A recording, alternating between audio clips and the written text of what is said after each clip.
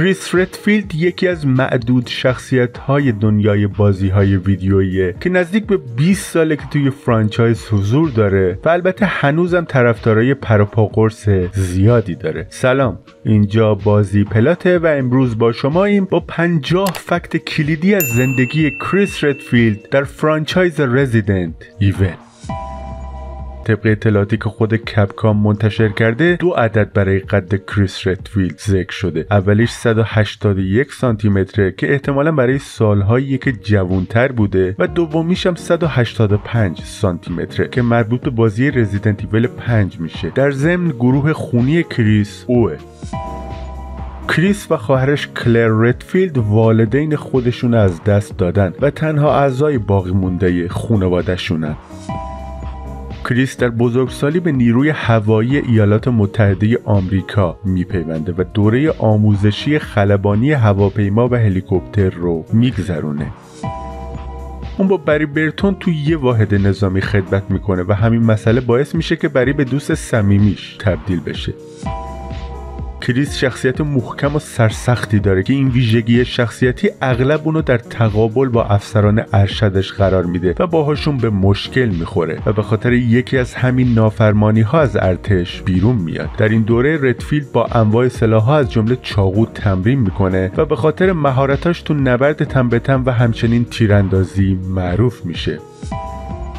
پس از ترک نیروی هوایی در سال 1996 گروه استارز که یه واحد ویژه اجرای قانون در شهر راکون سیتی بوده بهش پیشنهاد کار میده. کریس این پیشنهاد رو قبول می‌کنه و به عنوان یکی از افراد کلیدی شاخه آلفا یا به اصطلاح Alpha Team گروه استارز منصوب میشه. جایی که استعداد فوق‌العاده‌اش تو کنترل انواع سلاح‌های گرم باعث میشه که اون به عنوان تیرانداز برتر واحدش شناخته بشه. مهارت های تیراندازی اون همچنین باعث میشه که کریس ردفیلد در مسابقات تیراندازی اداره پلیس راکون سیتی شرکت کنه و جوایز trophy هایی رو از اون مسابقات به دست بیاره. کریس به همراه بری برتون که اونم به گروه استارز پیوسته بوده تعدادی از پرونده های پیچیده پلیس رو با موفقیت به سرانجام میرسونن. کریس اغلب با روش های خودش کار می‌کرده. روش های اون اغلب موفق بودن و به نتیجه می‌رسیدن. کریس رابطه صمیمانه ای با تمامی اعضای استارز داره. کریس با جیل ولنتاین یکی دیگه از اعضای تیم آلفا رابطه دوستانه ای برقرار می‌کنه به طوری که اونا با هم پیوند محکمی به عنوان شریک و partner عاطفی ایجاد می‌کنن و هر دوی اونا به هم اعتماد کامل دارن. کریس در اون مقطع زمانی با فرمانده گروه استارز یعنی خود آلبرت وسکر پرآوازه هم روابط خوبی داشت و وسکر رو به عنوان یه رهبر قابل اعتماد و کاربلد قبول داشت. و ما قبلا fact های کلیدی آلبرت وسکر رو تو کانال گذاشتیم که می‌تونین از طریق لینک هایی که تو description همین ویدیو هست اون ویدیو رو ببینید. جوزف فراست و فارست اسپایر هم از دوستای دیگه کریس بودن در روزهای تعطیل اغلب به حومه شهر می‌رفتن و خوش میگذروندن. کریس همچنین خواهر کوچیکترش یعنی کلر رو تحت آموزش های مربوط به دفاع شخصی و نبرد تن به تن و کار با اسلحه قرار میده و یه فندک طلایی و یه چاقوی ویژه گروه استارز رو بهش هدیه میده. در سال 1998 کریس به همراه جیل، بری برتون و آلبرت وسکر بخشی از گروهی میشن که قرار بود اسلحه سامورایی ایج رو که به طور ویژه برای اعضای استارز در حال ساخت بود آزمایش کنند. این اسلحه توسط رابرت و جوزف کندو که فروشگاه gun shop کندو برای اونا بوده طراحی شده بود. احتمالا فروشگاه اونا رو تو بازی های رزیدنت ایول دو و سه به خاطر میارین. فروشگاه کندو اکثر سلاحهای گرم سفارشی استارز رو می ساخت. کریس در نهایت سامورایی ایج سفارشی خودش رو دریافت می‌کنه که دارای یک اسلاید فولادی سخت آبی رنگ و یه ماشه فولادی ضد زنگ تلاکاری شده نقره‌ای با مدال و لوگوی استارز به رنگ آبی تیره بوده. بنا به درخواست کریس تغییرات داخلی جزئی انجام شد تا سامورایی Edge ش خوش دست بشه. در بهار سال 1998 در راکون سیتی گزارش های پراکنده از قتل هایی که قربانیان در اون خورده شده بودند و همچنین حملات حیوانات به کوهنوردان و ساکنان نزدیک جنگل های راکون سیتی منتشر شد. پلیس مظنون بود که این حملات توسط فرقه های شیطان پرستی انجام شده باشه که با مصرف بالای مواد مخدر این نوع حملات هولناک به مردان زنان و کودکان رو انجام داده باشند. این جنایت ها شامل تکه تکه کردن خشونت آمیز صورت و بیرون آوردن اعضای بدن می‌شد. پلیس تحقیقات گسترده ای رو در این زمینه در کوهستان آرکلی واقع در اطراف راکون سیتی آغاز کرد. اما نهایتا نتونست هیچ مظنونی رو شناسایی کنه. پس از گذشت دو ماه و پیشرفت اندک در تحقیقات و همچنین افزایش تعداد قتل ها پلیس شهر راکون سیتی تسلیم فشار عمومی شد و مسئولیت پرونده رو به گروه استارز سپرد. در 23 جولای شاخه براوو از گروه استارز برای بررسی قتل ها به کوهستان آرکلی سفر می‌کنه اما در طی یک حادثه سقوط می‌کنه و تماس رادیویش با مرکز قطع میشه. شب بعد تیم آلفا برای بررسی قطع شدن تماس رادیویی تیم براوو به همون منطقه اعزام میشه که کریس ردفیلد هم به همراه گروه به منطقه میره. اونا بعد از رسیدن به منطقه توسط یه سری سگ زامبی غافلگیر میشن و به سمت عمارتی که در همون حوالی قرار داره حرکت می‌کنن. بعد از رسیدن به اون عمارت و پس از جریاناتی کریس متوجه میشه که این عمارت با شرکت دارویی آمبرلا ارتباط داره و توسط بنیانگذار این شرکت یعنی آزول اسپنسر ساخته شده. اینا اتفاقایی که تو بازی رزیدنت ایول یک رخ میده که می‌تونین از طریق لینک هایی که تو description همین ویدیو قرار داره داستان اون بازی رو با جزئیات دنبال کنید.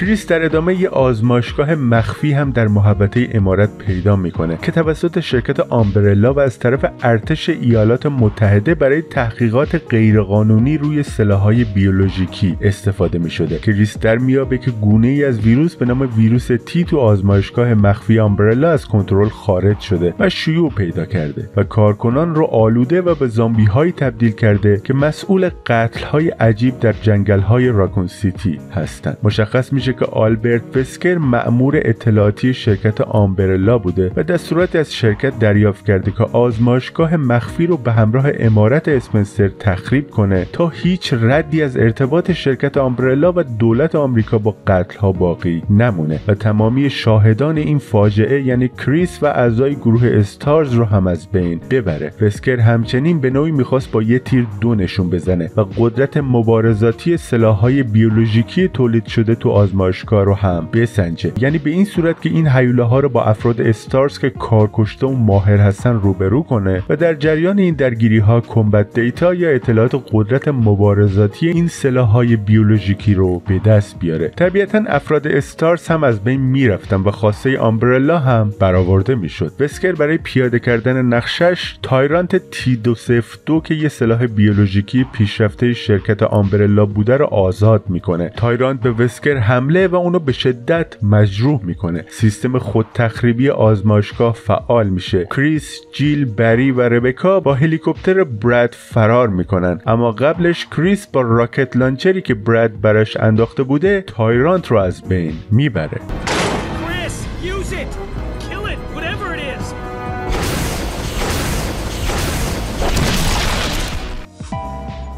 پس از اتفاقای قصر اسپنسر کریس تو بیمارستان عمومی شهر راکون سیتی تحت درمان قرار می‌گیره و پزشکا تایید می‌کنن که اون آسیب جدی و دائمی از این حادثه ندیده.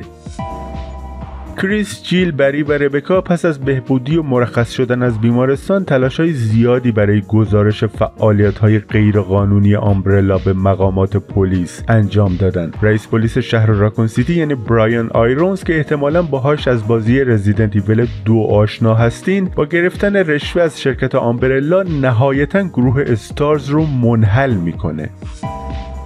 کریس ردفیلد هم به شدت تحت نظر قرار می‌گیره. با این وجود کریس اطلاعاتی در مورد ویروس جی به دست میاره و با مشکوک شدن به فساد برایان آیرونز از اداره تحقیقات فدرال درخواست می‌کنه تا تحقیقات بیشتری درباره آیرونز و همچنین ویروس جی انجام بده.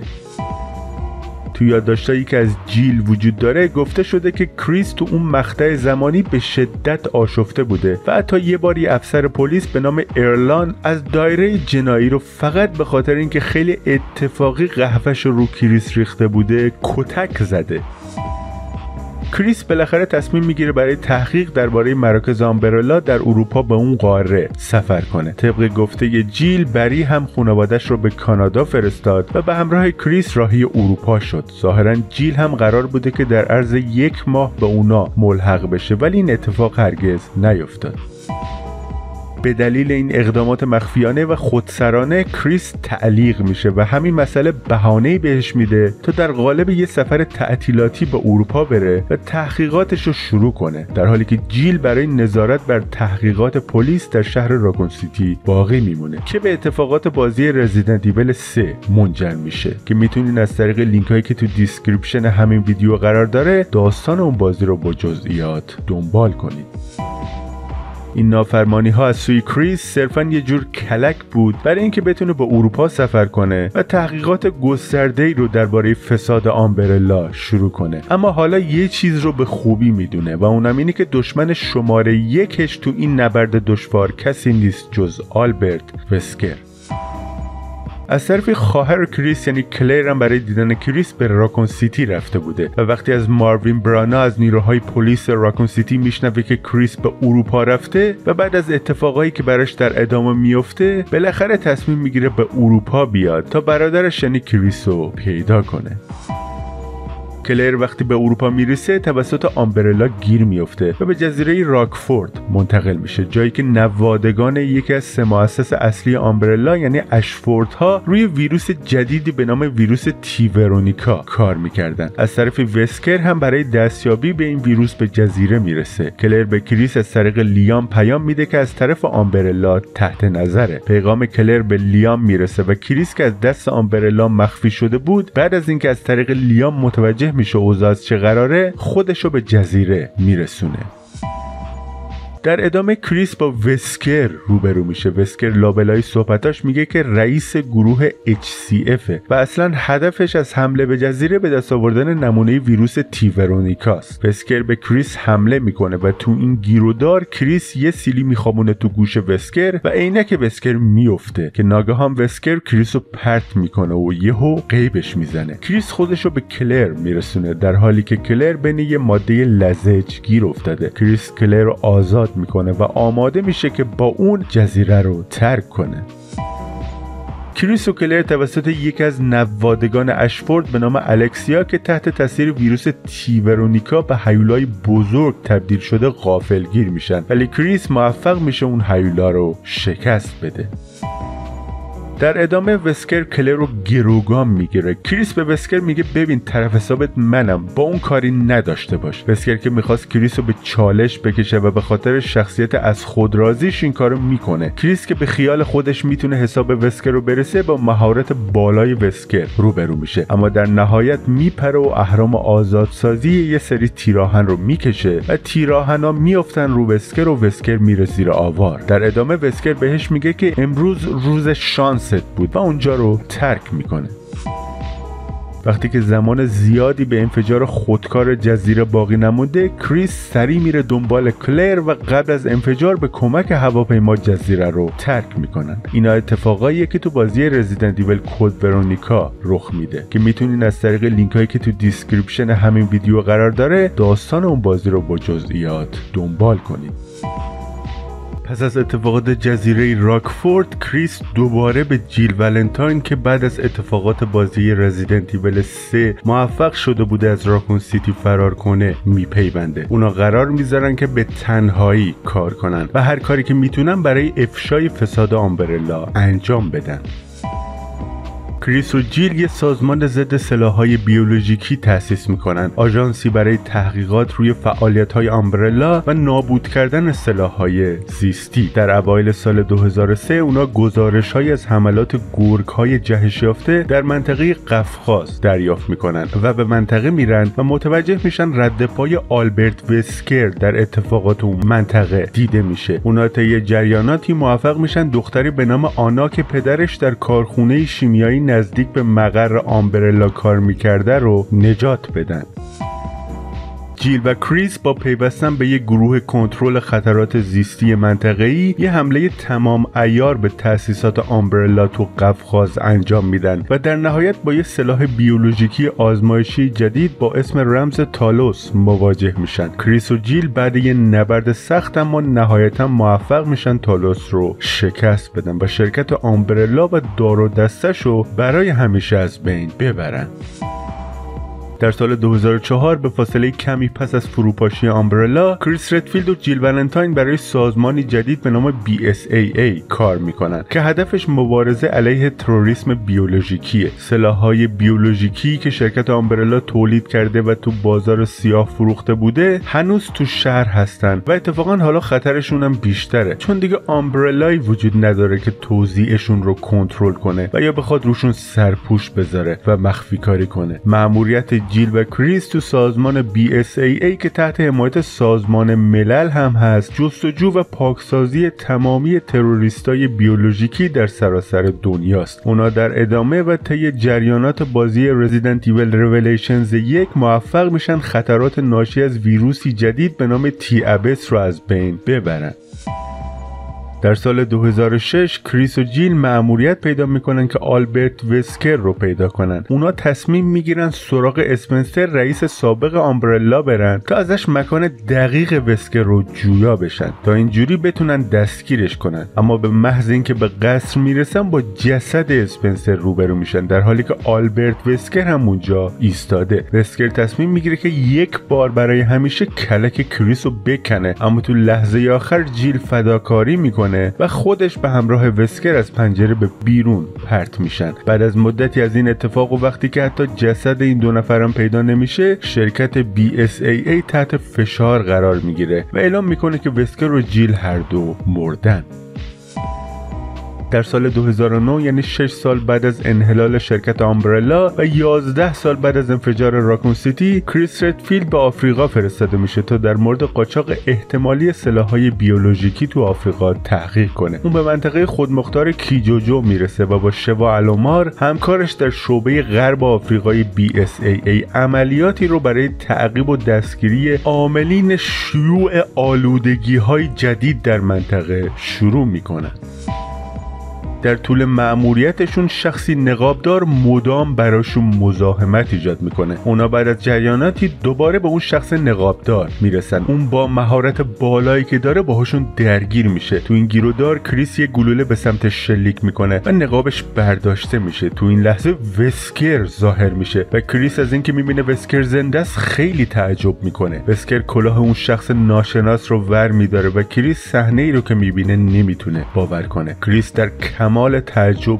جیل رو می‌بینه. اون به سمت جیل میره تا باهاش صحبت کنه اما جیل بهش حمله می‌کنه. تو جریان مبارزه یه قسمت از لباس جیل جدا میشه و اونا متوجه میشن که جیل توسط یه شیعی که رو گردنشه به نام پیتر تی کنترل میشه. کریس و شوا به کمک هم موفق میشن پیتر تی رو از جیل جدا کنن و اون رو به حالت عادی برگردونن. جیل بابت اینکه بهشون حمله کرده ازشون عذرخواهی می‌کنه و به کریس میگه باید جلوی وسکر رو بگیری و برید دنبالش. اون فکرای بدی تو کلش داره.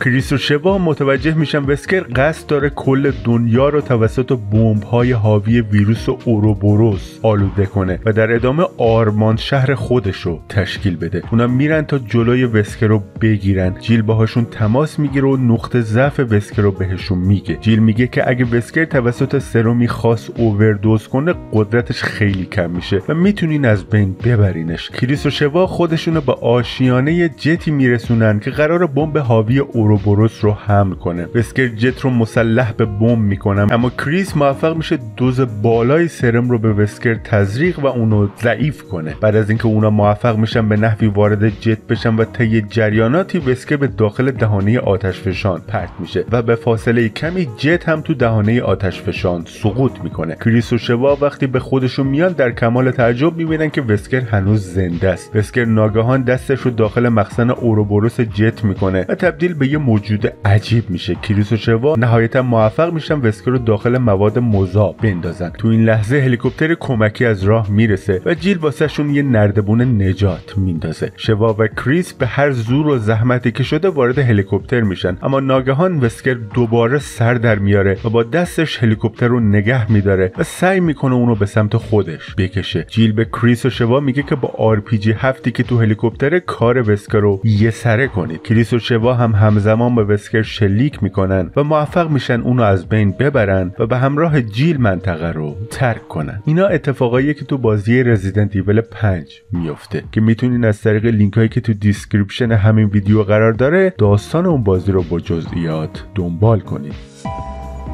بری برتون بعد از جریانات کیجوجوی آفریقا با ارسال ایمیلی به کریس و البته پیشنهاد خود کریس برای همکاری به BSAA میپیونده و کریس یه جورایی تیم شخصی خودش رو تشکیل میده.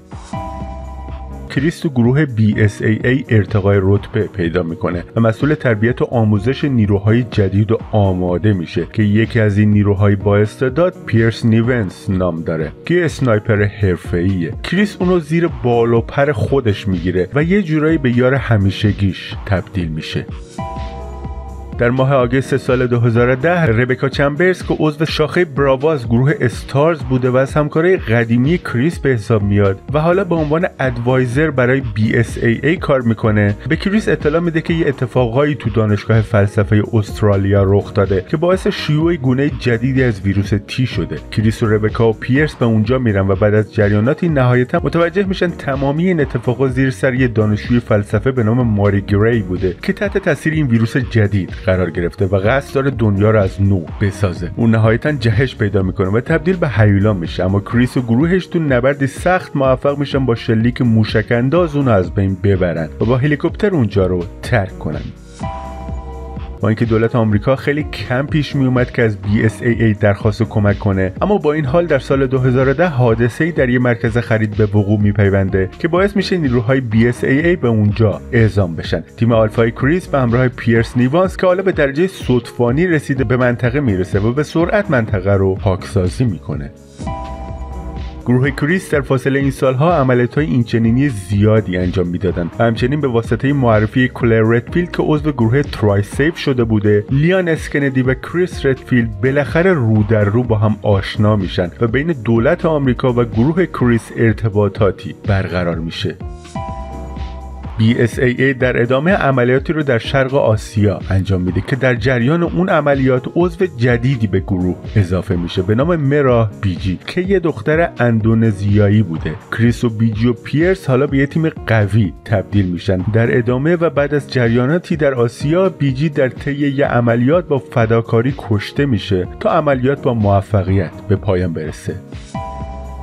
در سال 2012 کریس به همراه همکار همیشگیش پیرس به کشوری به نام ادونیا که گرفتار جنگ داخلی اعزام میشن. گزارشهایی وجود داره که تو اون جنگ داخلی از سلاحهای بیولوژیکی استفاده میشه. کریس از طرف BSAA به منطقه اومده تا ببینه قضیه چیه و افرادی که مسئول ورود این سلاحهای بیولوژیکی هستن رو دستگیر کنه. در ادامه مشخص میشه عامل این آلودگی ها ویروسی به نام ویروس سیه ویروسی که ایده پیدایشش از شخصی به نام درکسیمنز کریس و پیرس بعد از طی کردن ماجراهای زیادی بالاخره به جایی می‌رسن که هیولای بزرگ در آستانه ورود به آبهای آزاده که این مسئله باعث میشه کل دنیا آلوده بشه. پیرس با فداکاری خودش رو به ویروس آلوده می‌کنه و تبدیل به هیولای بزرگ میشه و موفق میشه اون هیولا رو شکست بده و جلوی آلودگی دنیا رو بگیره. کریس بعد از از بین رفتن پیرس ضربه روحی بدی می‌خوره ولی تصمیم می‌گیره یاد و خاطره پیرس رو گرا گرامی بداره و راهش رو ادامه بده. در سال 2014 یک سال پس از وقایع بازی رزیدنت ایول 6 کریس به فعالیت عادی خودش برمیگرده. اون یه تماس تلفنی از خواهرش یعنی کلر دریافت می‌کنه که ازش درخواست می‌کنه توی عملیات به کمکش بیاد. اما به دلیل اینکه کریس درگیر یه مأموریت ویژه با گروه BSAA تو صحرای موهاوی بوده نمی‌تونه بهش کمک کنه. اون در عوض تیمی به رهبری پارکر لوسیانی از بازی رزیدنت ایول یک رو به جزیره سونید و تورتوگا میفرسته تا به خواهر شنی کلر کمک کنه. کریس برای نظارت بر عملیات ویژه دولت مکزیک علیه دلال اسلحه تحت تعقیبی به نام گلن آریاس وارد عمل میشه. بعد از جریاناتی اون با همکاری ربکا چمبرز و البته لیان اسکندی موفق میشه گلن آریاس رو نابود کنه و به همراه اونا با هلیکوپتر منطقه رو ترک کنه. یک سال بعد از این جریانا کریس یه بار دیگه با partner و همکار قدیمی یعنی جیل ولنتاین و همچنین خواهرش کلر به همراه ربکا و البته لیان برای تحقیق در مورد یه سری عفونت های مرموز که گردشگرای آلکاتراز رو تحت تاثیر قرار داده وارد عملیاتی ویژه میشه که در واقع داستان فیلم سینمایی Death Island ه که به تازگی منتشر شده. اندکی قبل از جولای سال 2017 شرکتی به نام بلو آمبرلا از BSAA درخواست می‌کنه تا کریس رو برای کمک در مأموریت های پیش روی این گروه به دلوی لویزیانا بفرستن. هدف از این مأموریت دستگیری لوکاس بیکر یکی از اعضای مظنون سازمان The Connections که سلاحی بیولوژیکی به نام مول رو در اختیار داره. از طرفی چند سال پیش شخصی به نام ایتن وینترز به دنبال همسر گم شدهش یعنی میا به خونه دور افتاده تو همین دلوی لویزیانا میره. اون توسط خانواده مجنون گیر میفته و می‌فهمه همسرش یعنی میا وینترز هم اسیر اونا شده. این خانواده که اسمشون بیکر هاست تحت تاثیر سلاحی بیولوژیکی با عنوان سری ای یا اولین قرار دارن که به شکل دختر بچه ظاهر میشه. همسر ایتن و خودش آلوده به همین آلودگی بیولوژیکی میشن که ایتن بعد از ماجراها و اتفاقاتی که براش پیش میاد نهایتا موفق به نجات همسرش میشه و بعد از چند مرحله مبارزه با اولین نهایتا اولین تبدیل به یه هیولای بزرگ میشه و ایتن مجبور میشه باهاش مبارزه سختی داشته باشه. کریس و گروهش به منطقه می‌رسن. اونم درست زمانی که همون سلاح بیولوژیکی یعنی اولین در شکل جهش یافته خودش از خونه بیکرها سر برآورده و ایتن وینتر سعی می‌کنه هر جوری هست نابودش کنه ولی امیدش رو از دست داده چرا که مهماتش در حال تموم شدنه. تیم کریس ردفیلد با انداختن یه اسلحه دستی به ایتن کمک می‌کنه تا کار اون هیولا رو تموم کنه. بعد از این نبرد سخت کریس ایتن و همسرش میا رو با هلیکوپتر از منطقه خارج می‌کنه و در ادامه طی عملیات ویژه موفق میشه لوکاس بیکر رو که تبدیل به هیولای جهش یافته شده بوده از بین ببره. اینا اتفاقایی که تو بازی رزیدنت ایول هفت میفته اگه دوست دارین داستان اون بازی رو به صورت کامل ببینین بهتره از طریق لینک هایی که تو description این ویدیو گذاشتیم داستان اون بازی رو دنبال کنید کریس ردفیلد بعد از حوادث دلوی لویزیانا یعنی وقایع بازی رزیدنت ایول 7 نسبت به گروه BSAA به خاطر عملکرد بدشون در جریان اون حادثه بیاعتماد میشه. اون سه سال بعد رو با گروه Hound Wolf Squad که ترکیبی از نیروهای نخبه جدا شده از گروه BSAA بودن میگذرونه. مأموریتشون هم این بود که زنی به نام میراندا که سابقا زیست شناس بوده و ارتباطهایی با گروه کانکشنز داشته و در ادامه قصد داشته با استفاده از مولد و طی آزمایشاتی دختر مرده خودش رو زنده کنه به دام بندازن. این جریانا خانواده وینترز رو هم در معرض خطر قرار می‌داد. چرا که مادر میراندا به دختر کوچیک وینترز ها یعنی روزماری احتیاج داشت و معتقد بود روزماری نسخه بهبود یافته ایولین یعنی همون سلاح زیستی بازی رزیدنت ایول هفته. مادر میراندا با آزمایشاتش موفق شده بود نامیرا بشه و همچنین قابلیت تغییر فرم دادن رو هم به دست آورده بود. برای همین خود خودش رو به شکل میا وینترز یعنی همسر ایتن وینترز در میاره و به خونه اونا وارد میشه. همچنین خود میا رو تو آزمایشگاهش زندانی می‌کنه. کریس و گروهش وارد خونه وینترز ها میشن و در ادامه کریس میراندا که حالا به شکل میا حضور داره رو می‌کشه و ایتن و روزماری رو هم به همراه جسد میراندا با خودش می‌بره. اما در بین راه میراندا که ظاهرا با اون شلیک ها کشته نشده بوده به خودش میاد و اعضای تیم کریس رو از بین می‌بره و همچنین روزماری رو هم با خودش به روستایی که در اون ساکن بوده و در واقع تمام آزمایشاتش رو اونجا انجام می‌داده می‌بره. ایتن به هوش میاد و خودش نزدیک اون روستا می‌بینه و در ادامه کریس رو می‌بینه و کریس ماجرا رو براش شرح میده و میگه منشأ تمام این آلودگی ها در ریشه به نام Megamycete قرار داره که اون ریشه بزرگ که شبیه قلبی تپنده است تو این روستا قرار داره. ایتن در ادامه و طی جریاناتی موفق میشه میراندا رو از بین ببره. کریس هم به روستا نفوذ می‌کنه و بمبی چاشنیدار رو روی بدنه Megamycete میکاره و به آزمایشگاه میراندا می‌رسه. اینجاست که میای واقعی رو آزاد می‌کنه. میا بهش میگه ایتن قدرت هایی پیدا کرده که بدنش قابلیت احیا شدن داره. همین که اونا آماده خروج از روستا میشن ایتن به کریس میگه تو روز رو بردار و با همسر میا روستا رو ترک کن. و detonator بمبی که کریس روی Megamycete کاشته رو می‌گیره و به سمت بمب میره و با فداکاری خودش و Megamycete رو منفجر می‌کنه. کریس و میا و روز روستا رو ترک می‌کنن. کریس به میا میگه ایتن فداکاری کرد تا ما بتونیم به زندگی ادامه بدیم. روز با سرپرستی کریس ردفیلد بزرگ میشه و حالا با قدرت های ویژه‌ای که داره با تیم کریس ردفیلد همکاری می‌کنه. اینا داستانایی که تو بازی رزیدنت ایول ویلج رخ میده. اگه می‌خواین داستان اون بازی رو به طور کامل ببینیم بهتر از طریق لینک هایی که تو description همین ویدیو قرار دادیم داستان اون بازی رو با جزئیات دنبال کنیم. اگه به این سبک ویدیوها علاقه دارین و دوست دارین بازم همچین محتواهایی تو کانال بذاریم نظرتون رو با ما تو بخش کامنت ها به اشتراک بذارید راستی با لایک کردن ویدیوها و subscribe کردن کانال کمک زیادی به بهتر دیده شدن ویدیوها و همچنین رشد کانال می‌کنید امیدواریم از این ویدیو خوشتون اومده باشه.